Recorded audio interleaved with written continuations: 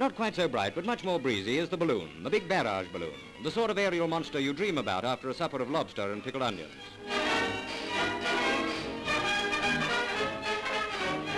Our cartoonist Joe Noble evolved an idea for relaying balloons, flying them one above the other.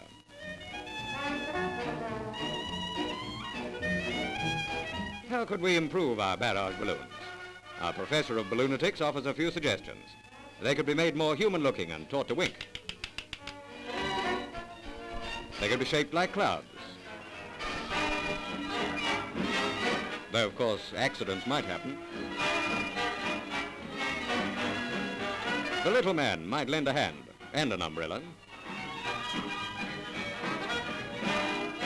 They might even be used for advertising purposes. Put that light out! Thanks ever so. And what about the one that got away? It's an idea that might be worth turning over in your mind. Yes, they fly north, east, south, and west.